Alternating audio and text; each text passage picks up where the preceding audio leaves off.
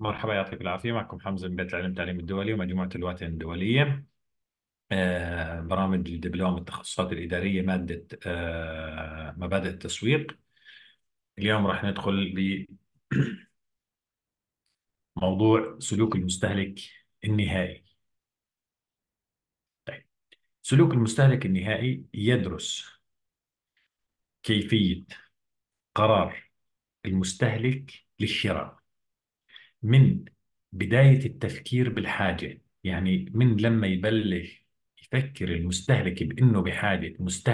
آه، منتج ما لحد ما يشتريه ويستهلك هذا المنتج حتى يتخلص منه أو يجدده أو إلى آخره. تمام؟ كيف طريقة تفكيره؟ يبدأ من إنه كيف طريقة تفكيره؟ هذا اللي راح ندرسه بهذا الشابتر التسويق هي عملية بتتم بين المنتج والمستهلك. هذه الع- العلاقة لازم حتى تستمر لازم تكون ناجحة. لازم يكونوا الاثنين مستفيدين. المنتج لازم يقدم سلع أو خدمات أو أفكار للسوق أو للمستهلك. هذا المستهلك يكون عنده حاجة أو رغبة بهذه السلعة يأخذها ويدفع المقابل المادي أو المعنوي للمنتج.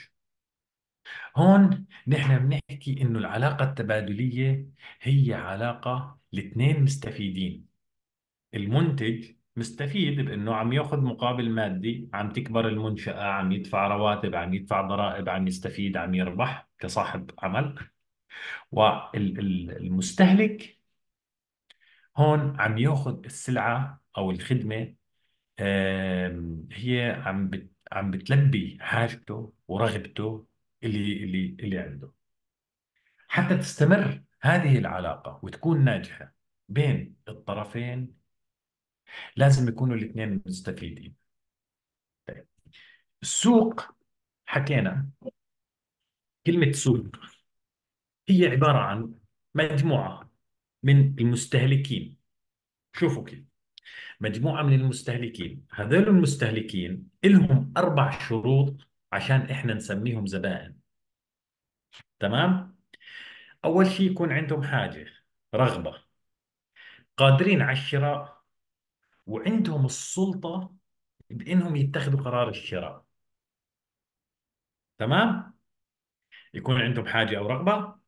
عندهم القدرة إنهم يشتروا عشان وعندهم سلطة بإنهم يشتروا أو يتخذوا قرار الشراء. حتى نسميهم سوق أو جزء من السوق كمستهلكين. حتى نسمي هذا الجزء من السوق أنت كمستهلك لازم يكون عندك حاجة رغبة قدرة وسلطة على أنك تتخذ قرار الشراء.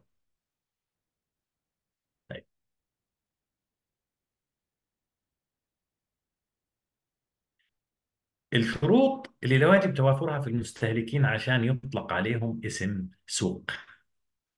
أول شيء لازم يكون في عندنا حاجة لهذا الم... للمنتج.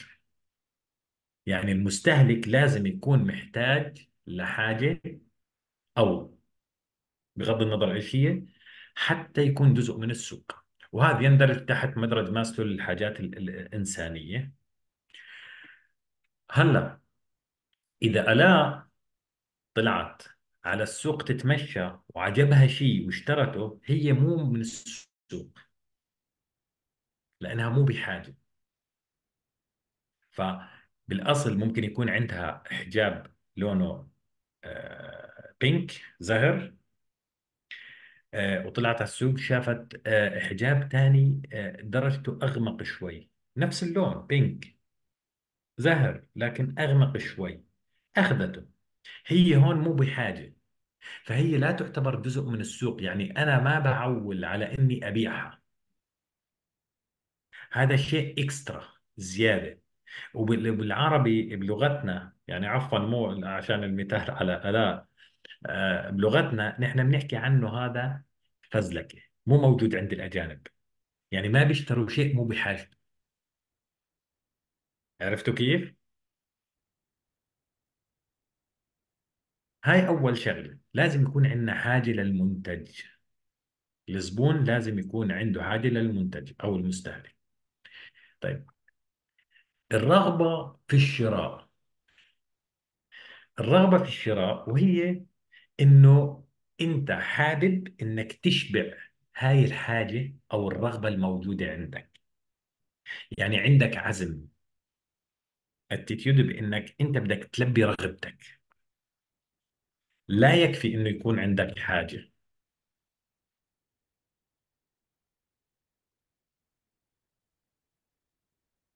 ثالث شيء إنه أنت فعليا معك فلوس عشان تشتري. يعني إذا أنت بحاجة وعندك الرغبة بس ما معك تشتري أنت مو جزء من السوق. يعني أنا بالنسبة إلي كشركة أنت مو جزء من السوق. أنت ما بتشكل عندي الطلب متذكرين ال- الموضوع العرض والطلب؟ حتى يتشكل الطلب لازم إني أعرف كم عدد عدد المنتج المطلوب بالسوق. هلا أنا لما أدرس السوق إذا ما كان عندك القدرة على الشراء معناها لا يتشكل الطلب. لا تعتبر جزء من الطلب. أوكي فيك عندي كمان شرط. هذا لا يكفي إنه معك فلوس بجيبتك وإنك قادر إنك تشتري. هذا كمان لازم يكون في عندك سلطة بإنك تتخذ القرار بالشراء. كيف هاي بتصير؟ آه، آلاء دعاء مثلا عندهم بالبيت شاشة تلفزيون أم، 40 40 بوصة 40 إنش. هي معها فلوس وهي بحاجة لشاشة أكبر وبحابة إنها تشتري عشان تريح النظر و...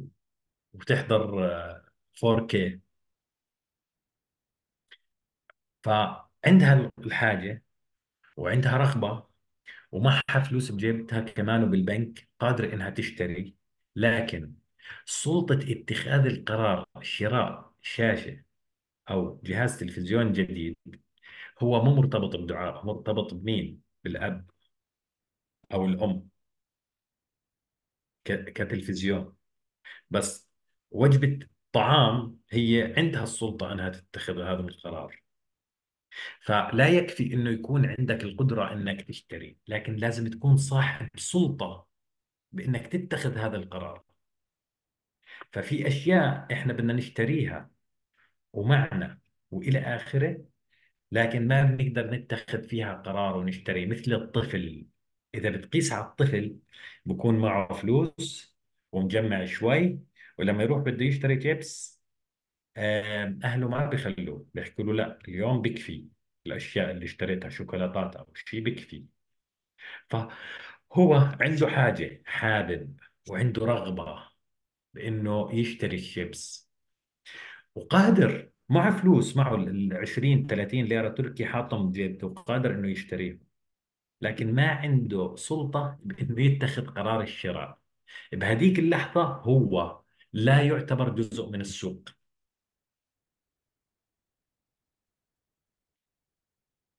حدا عنده سؤال؟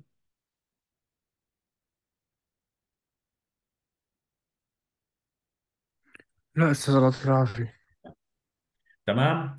فهمتوا كيف تمام فهمتوا كيف ال- ال- المستهلك وإيش الشروط اللي لازم تكون عند المستهلك عشان يكون جزء من السوق؟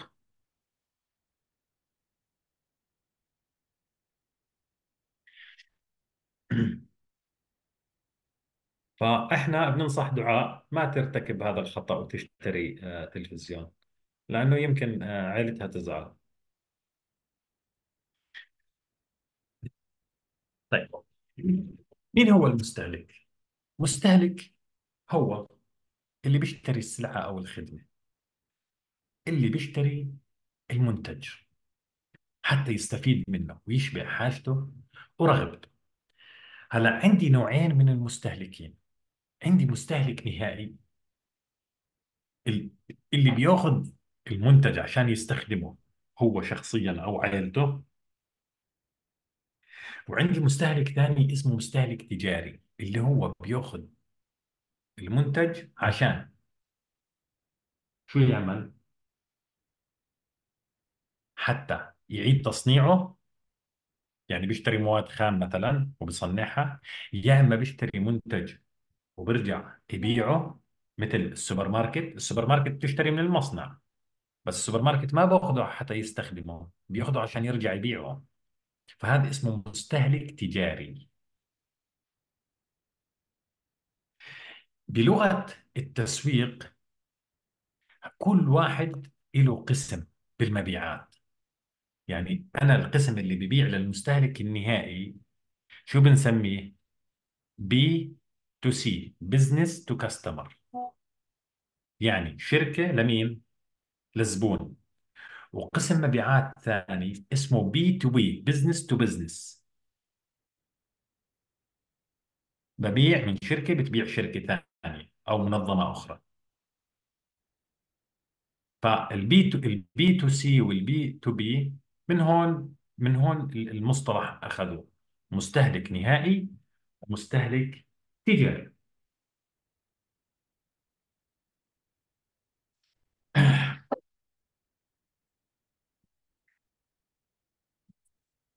هذا عنده سؤال؟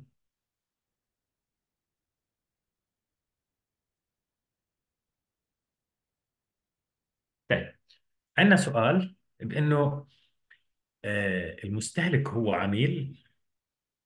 لا. المستهلك اللي بيشتري. العميل اللي بيشتري المنتج بصفة منتظمة من محل معين براند معين. هون زبون ليش إحنا لما ندخل هذا بندخل نشتري أكثر من مرة من محل المرة اللي بعدها؟ آه، عملنا آه، خصم. إحنا زباين. زباين يعني أنت دائما بتشتري من عنده. بينما المستهلك هو ممكن يشتري مرة واحدة منك.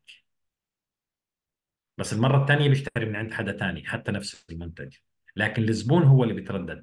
عشان هيك عندنا بالمحلات بنسميهم زباين. يعني السوبر ماركت المطعم كذا لما نحكي بنحكي عنهم زباين. بس لكن لما تروح على البنك بيحكوا عميلنا عميل. ليش؟ لأنه أنت فاتح حساب عندهم وبشكل أسبوعي بشكل كل شهر بشكل يومي عم تسحب من عندهم فلوس عم تودع عندهم فلوس. فأنت هون اسمك عميل.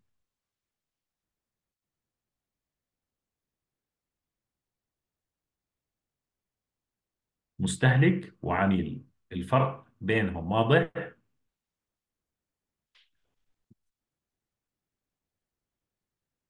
واضح؟ واضح. إيه يا أستاذ واضح واضح. بس كمان بيقولوا مثلا تطبيقات بيقولوا عندك خدمة عملاء وين؟ مثلا تطبيقات ال applications أو أي تطبيق تفتحه أنت customer service اللي هو خدمة العملاء. طيب أوكي. هلا أنت لما تنزل التطبيق آه، إيه بتنزله عشان بتنزله عشان تستخدمه مرة وتشطبه. لا عشان اشتري منه دائما أحيانا حتى مثل market مثل مطعم مثل كذا. حتى حتى لو استخدمته مرتين بالسنة اسمك صار عميل. مو مستهلك. إيه. عرفت كيف؟ لأنه أنت اشتريت المنتج هذا أكثر من مرة من نفس المكان. امم شوف آه مثلا آم، شو اسمه التطبيق اللي اللي آه يمك يمك سبتي إيه. يمك سبتي أنت بتستخدمه واسمك عميل. لكن ممكن أنت تشتري كل مرة من مطعم وما ترجع تشتري منه مرة ثانية. من خلال هذا التطبيق. بالنسبة لشركة التطبيق أنت اسمك عميل. وبالنسبة لهذا المط- المطعم اسمك مستهلك. تخيل. إيه صح. هو تخ- اسمع أصلا نفس شركة شركة نفس وساطة بنفس قناة التوزيع للمنتج عندك اثنين شركات. شركة بتعتبرك عميل وشركة بتعتبرك مستهلك. وسيط آه مستهلك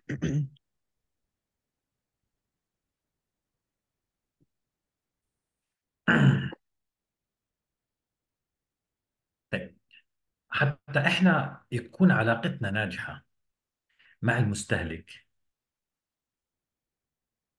لازم نفهم سلوكه كيف بيشتري؟ كيف بيقرر إنه يشتري؟ آه كيف مدرج ماسلو بيشتغل معه؟ الحاجات. لازم نتفهم هاي الأشياء. بناء عليها إحنا بنعمل استراتيجيات تسويقية. الخطط التسويقية بتكون مبنية على استراتيجية لأنه كيف الشركات بتكبر؟ لأنه بزيد عدد عملائها.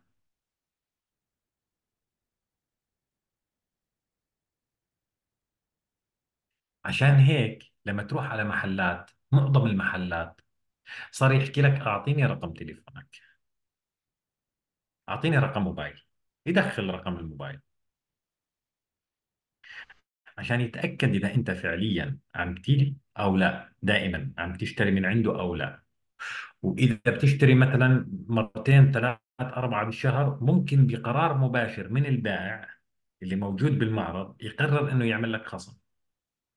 شغلة ثانية إنه هذا الرقم هو عم يصير يبعث لك مسجات تذكير إعلانات. من خلالها راح يستقطبك. أنت أول مرة كنت عنده رحت كنت عبارة عن مستهلك. أول مرة اشتريت أخذ رقمك صار يبعث لك مسجات رجعت اشتريت من عنده. بهذه الطريقة عم يحولك من مستهلك إلى عميل. وهذا بهم الشركات أنا ما بهمني إني أبيع واحد. بينما آه، آه، مثلا في منتجات تعتمد على المستهلكين لا تعتمد على ال مثل شفت هذا اللي بلف وببيع شاي بال بالأماكن على البحر وهون وهون وبالميادين وكذا وماسك شاي وعم ببيع للكل. هذا ما بهمه بهمه مكان مزدحم في مستهلكين يبيع. ما بدي ترجع لي مرة ثانية يشرب من عندي مرة واحدة. خلاص ال- اللي عامل لك هيك العرباية هذه اللي بتبيع سميت وإلى آخره بميدان هو ما بيعتمد لا أصلا لو هو بيعتمد على زباين ما حط ال- ال- العرباية هذه بالميدان لأنه فيها عدد كبير الميدان ناس بتدخل وبتطلع منه.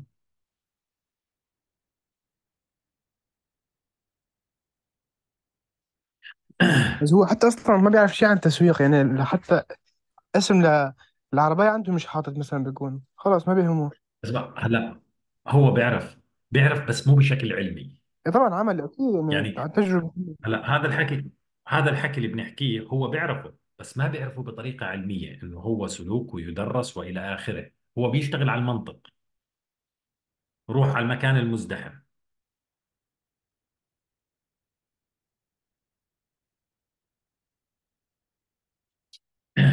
هلا كشركات مو مثل ال- البزنس الصغير. لا أنت هذا الإشي بدك تدرسه حتى تقدر تبني استراتيجيات تعرف تعمل ال- الخطط التسويقية تعمل تطوير للمنتج كيف تعمل السعر كيف توزع كيف تروج كيف كل الإعلانات كيف تعملها وإلى آخره وكل هذا نحن بنعمله من أجل شغلة واحدة بما يحقق رضاء المستهلك اللي هو إحنا بنعتبره الملك ليه؟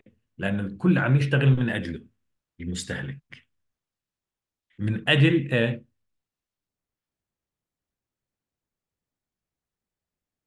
رضا هذا المستهلك.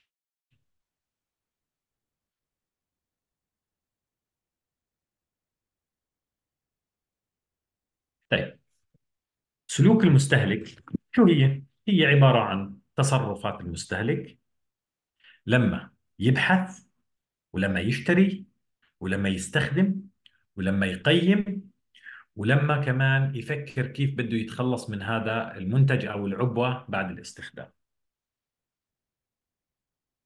كل هذه تبدأ بالبحث لما يشعر بالحاجة بيبدأ بالبحث عن منتج لحد ما يتخلص منه. هذا عبارة عن سلوك مستهلك وهذا الإشي شرحناه المحاضرة الماضية.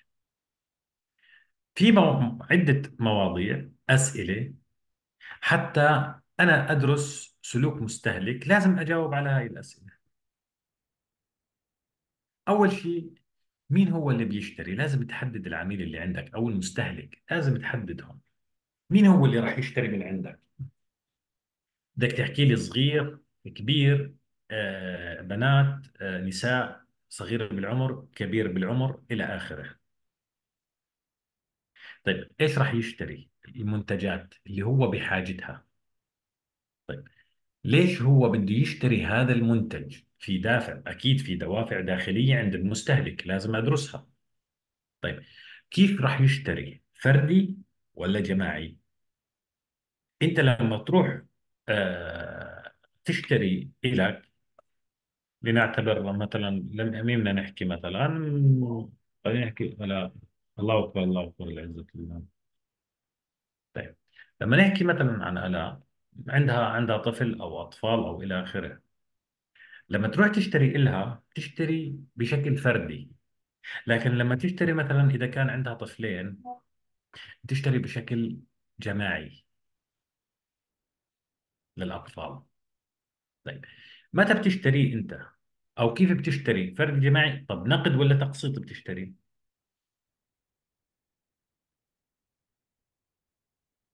وهذا كثير ماشي بتركيا نقد ولا تقسيط لأنه في كريدت كارد وعم يشتغلوا عليها. طيب متى بتشتري؟ صبح ولا مساء؟ عطلة ولا بالمناسبات؟ حسب المنتج. وكيفية استخدامه؟ ومتى بتستخدمه؟ فبتشوف إنه الصبح مثلا الصبح كثير بكير. الساعة مثلا سبعة بتشوف إنه الفرن أو المخابز بتركيا مثلا آه الكل بيطلع بكون بيشتري الصبح عشان ياكل يفطر خبز طازج أوكي؟ المساء بكون أخف الطلب على الخبز. لكن في أشياء تانية في أشياء تانية آه ممكن إنه آه تشتريها أنت مثلا خلينا نحكي المساء. بس في أشياء الصبح إحنا نشتريها ولازم نشتريها الصبح وفي أشياء مساء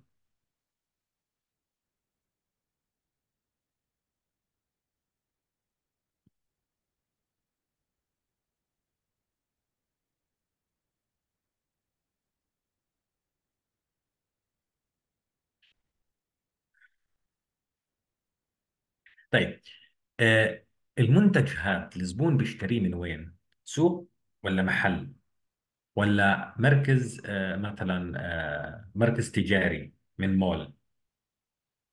هلأ أنتم في أشياء عم تشتريها من البيم وأشياء من السوبر ماركت وأشياء لأ لازم تروح مثلا كارفور وفي أشياء بتشتريها من المول. صح؟ فكل منتج له خصوصية بالنسبة للزبائن.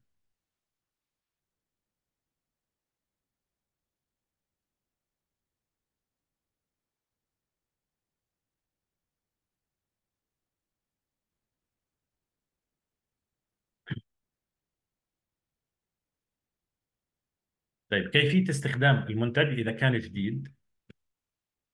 إذا كان جديد عشان هيك بحط لك يا إما بعطيك آه، بحضرك فيديو من خلال ال ال ال الإعلان يا إما بحط لك manual إنه كيف تستخدمه كيف تركبه وإلى آخره.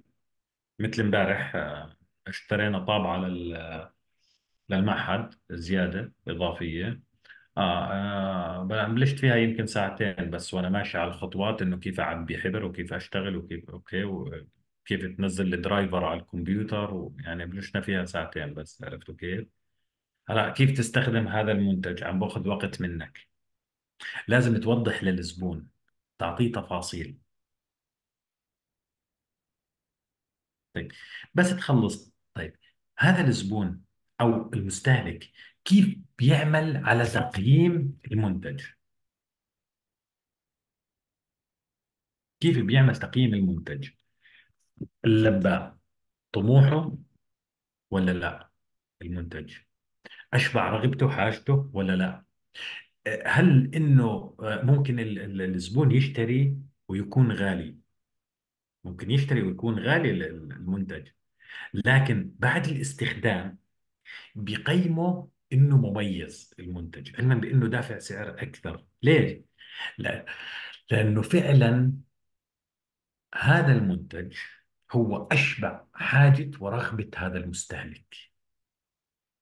فأنت شو بتحكي؟ صحيح غالي بس حلال عليهم. مثلا إشي مرتب جهاز مرتب آه، أكل زاكي ما بعرف إيش. كل ها- هاي الأشياء إحنا مصطلحات هي عبارة على فكرة هي تقييم إحنا عم نقيم وبنقيم بشكل علمي بس لكن إحنا يعني ما بنفكر بهاي الطريقة يعني بأنه هي سلوك ومستهلك وكذا لكن إحنا دائما بنحكيها. بتطلع بتطلع من الكافيه بتحكي عليه أنت بتحكي عليه عنه يعني إنه قدم خدمته إلى آخره غالي رخيص إلى آخره. هذا كله عبارة عن أنت عم في عندك معايير وعم تعمل تقييم. موضوع كيفية التخلص من المنتج صار مهم كثير. وحاليا آه، صاروا يكتبوا لك عليه بأنه ممكن إعادة تدوير الكرتون هاد البلاستيك هاد ممكن كذا كذا كذا لأنه في ناس عندهم حساسية البيئة وإلى آخره. والأشياء الصديقة للبيئة حاليا بلشت تصير دارجة كثير يعني بالمجتمعات. طيب السلوك السلوك الإنساني هل هو سلوك عشوائي؟ طبعا لا. السلوك الإنساني هو نشاط غائي يعني من أجل غاية. يعني الإنسان لما يعمل سلوك بيعمله من أجل غاية. هدف. والهدف من- منها بأنه إشباع حاجات المستهلك ورغباته. كسلوك مستهلك. وحتى بسلوكياتنا العادية الطبيعية أنت كمان في عندك غاية لسلوكك. يعني لما هيك أنت تشوف آه، مثلا عمر آه، بيوم من الأيام صديقه زعله إلى آخره المرة اللي بعدها حتى لما يسلم عليه بتصنع بأنه يسلم عليه ببرود شوي لسبب لغاية. حتى يحسسه أنه فعلا هو أخطأ معه. فكل سلوك الإنسان هو عبارة عن سلوك غائي مو عبثي. يعني منظم في له سبب في له هدف. وأنت بدك تحقق هذا الهدف من هذا السلوك.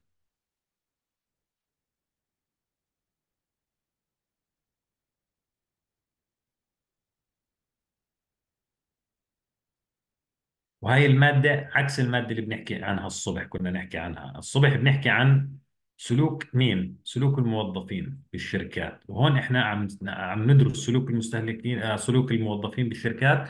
هلأ هون عم ندرس سلوك المستهلك عشان نفهمه ونعرف نشتغل. فهذول كلهم على فكرة متكاملين حتى تنجح المنظمة. طيب. هلا في عندي مراحل لعملية اتخاذ القرار الشرائي. وفي عوامل بتأثر على السلوك. السلوك الشرائي. طيب لأعتبر إنه آه، كلكم تقدروا تحكوا تناقشوا. في حدا ما بيقدر يحكي؟ هلا إذا سألته. أنا أنا يعني ححاول أحكي بس إذا كانوا كثير عم عم يضوجوا ما حقدر. أحكي هلأ تمام. ساعتين عمر؟ إيه أستاذ ما في مشكلة تفضل. تمام دعاء. مو معنا طيب. عمر كيفك؟ هيا الله أستاذ تفضل. الله وسهلا يسلمك. طيب. عمر لأعتبر لأعتبر إنه أنت بحاجة إنك تشتري آه، جاكيت. أوكي؟ مضطر إنك تشتري جاكيت. إيه. ودخلت على محل. وخلص ولازم تشتري. عندك حاجة وعندك رغبة وعندك قدرة قدرة شرائية و... وأنت صاحب قرار إنك تشتري. يعني كل شروط ال- المستهلك أو العميل متوفرة فيك. ال- ال- المستهلك. تمام؟ إيه. متوفرة فيك. دخلت على معرض وبدك تشتري الإضاءة كانت خافتة قليلة. تمام. آه، بتشتري ولا بتتردد؟ إضاءة كانت خافتة. لا موضوع الإضاءة م- أظن ممكن نحله مثلا بغ... آه، ممكن يلا- يطلع برا على المدخل شوف ال- على الطبيعة شوفها كمثال إذا كان معرض على الشارع إذا كان المعرض مثلا بقلب مول ممكن يطلع برا المحل إضاءة تكون طبيعية بالممر مثلا عادي يعني بيسمح هالشيء يعني صاحب المحل كمثال. مثلا موضوع الإضاءة بتبين حل أما أنا مثلا بالنسبة لي موضوع نوعا ما الجودة والسعر بيلعب دور أكتر أه والحاجة إلها يعني هل أنا كتير مضطر عليها؟ تاني يوم مثلا عندي مناسبة لازم ألبسها إيه وقتها أه بتشجع وبشتريها ما عندي مشكلة. عرفت تمام. كيف؟ ممكن ممكن يكون في خطأ بقرارك الشرائي. طبعا في أخطاء فيها آه خطأ. بس أنا آه أنا هذا الخطأ ب- بوضح له لصاحب ال- شو اسمه المحل. أنا إذا أخذتها وما عجبتني هل ممكن أرجعها؟ إذا قال إيه ممكن تتم البيعة. إذا ما قال إيه ما بتتم البيعة. يعني أثر على قرارك الشرائي. طبعا طيب. رح يتراجع. وإنت مروح ما بعرف عندك بالبيت آه، حدا إيه. إنت صرت بطريق قريب على البيت. خبروك أهلك اللي معك بالبيت إلى آخره. حكوا لك آه، مثلا آه، اشتري لنا معك آه، منتج آه، خلينا نحكي. اشتري لنا مثلا آه، شيء مثلا متعلق شيء بالبيت خلينا نحكي. مكسرات. مثلا مهندسات شيء أو شيء م- أنا هيك م- مكسرات. أوكي. تمام آه، إذا كان بطريقك أوكي أنت مروح من دوام من شغل. إيه. إذا كان بطريقك أوكي. لكن إذا بدك تمشي مسافة أبعد 200 متر 300 متر بتحكي لهم مو بطريقي. إيه. طيب حالتك النفسية بإنك تعبان مروح من شغل أثرت على قرارك الشرائي ولا لا؟ طبعا بس هلأ لا حاليا أكيد هيك ما اشتريت أنا هذا اللي بدي أوصل لك اياه إنه في عوامل كثير بتأثر على قرارك الشرائي. راح ندرسها بشكل مفصل. بس هلا أساس حاليا نوعا ما صار في عندك كثير حلول. يعني هلا مثلا أحيانا والدتي تطلب مثلا أغراض مني ما أجيب لي إياهم مثلا آه، إجا أو راجع من الشغل. قبل ما أوصل مثلا عن طريق عن طريق ال applications أو الأونلاين كذا بطلبهم بيوصلوا على البيت قبل ما أوصل أنا مثلا على البيت. عرفت؟ يعني نعم. ممكن الواحد يلاقي حلول تانية. فيك موضوع القدرة الشرائية أو الحالة النفسية بحس. طيب هلا في عنا كثير تفاصيل متعلقة بسلوك وبتأثر على سلوك. سلك أنا عم أعطيك أمثلة بسيطة عشان شيء أكبر. عرفت كيف؟ لكن هي تفاصيل بتأثر بتأثر على قرارك الشرائي. يعني الحالة النفسية التعب ال الناس آه إذا كان معك حدا مستعجل بده يروح مست- تعبان. أنت أو ما تعدد الخيارات. بس يكون في خيارات كثيرة. بقى أو في بتحتاج خيارات كثير. كثير تفاصيل بتأثر على قرارك لما تشتري. بالضبط. آه. صار لي أسبوع بدي عمول بدي شنطة بدي شنطة بدي شنطة. صدقا صار لي أسبوع محتار. على ترندو في 100 محل 200 محل عم يبيعوا شنطة. و- والفروقات جدا قليلة والت- والتقييمات جدا مختلفة. بتروح على تطبيق ثاني بتشوف شيء ثاني بتروح على السوق بتشوف شيء ثاني آخر شيء خلاص يا أخي أي واحد أي شنطة اشتري وخلصنا. هي طيب بصير في. شوف شوف السلوك شوف السلوك. إذا أنت بدك تشتري شنطة أو كذا أو يعني أي شيء أوكي. آه، قبل بيوم أو قبل بأسبوع صاحبك صديقك حكى لك إنه أنا اشتريت والله كذا كذا آه، من ترنديول آه، للأسف طلعت حجمها مو مثل ما أنا متخيل يعني. عرفت إيه. كيف؟ راح إيه. تتردد 100 مرة. بالضبط. هو هو هذا الموضوع بكون صار معه قبل سنة مثلا وحكى لك فيه بس أنت تذكرته وأثر على قرارك الشرائي ممكن يأخر قرارك الشرائي شهر وأنت تبحث عن عن طبعا طبعا. أستاذ في كمان شغلة أثرت في قرار الشراء تبعي وخاصة على ترندل من أسبوع اللي هو أنا فتحت حساب على ترندل وفتحت حساب بائع وعرضت أصناف عليه لبيعه. آه لحسابي. آه فإجا أول طلب أول طلب إجا كان بكونيا. آه كونيا بعثنا الطلبية على كونيا وشافتها الزبونة وما نجبتها وعملت إبطال واعادة يعني خسرت في المنتج فوق الحقه فوق حقه 200 ليرة دفعت أستاذ زيادة عليه عرفت؟ وتقييمي بينزل وكذا إلى آخره. فأنا تمام لهيك ترددت كمان شوي لسه أكثر في تجربة عشان سابقة صار معي.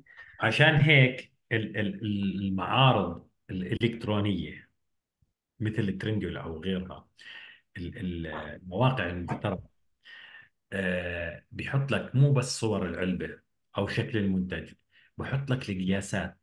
ارتفاع وعرض وإلى آخره وإلى آخره. حتى مو العمر مو على العمر كمان. حتى لو ملابس ما بحط لك العمر. بحط لك القياسات بالضبط بالسنتي.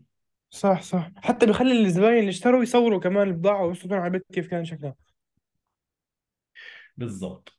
طيب اليوم ما راح ندخل لأنه شرحهم بدهم أكثر من محاضرة موضوع العوامل اللي هم آه هذا نموذج نموذج السلوك. أي قرار أنت بتتخذه للشراء يتأثر بكل هذه العوامل اللي إحنا عم نحكي فيها اللي هون موجودة. عوامل موقفية عوامل ثقافية عوامل سيكولوجية عوامل اجتماعية ومعلومات عن ال- ال- ال- المنتج وعن المجتمع باختيار هذا المنتج. فهذا إن شاء الله راح بكرة آه، نبدأ فيه.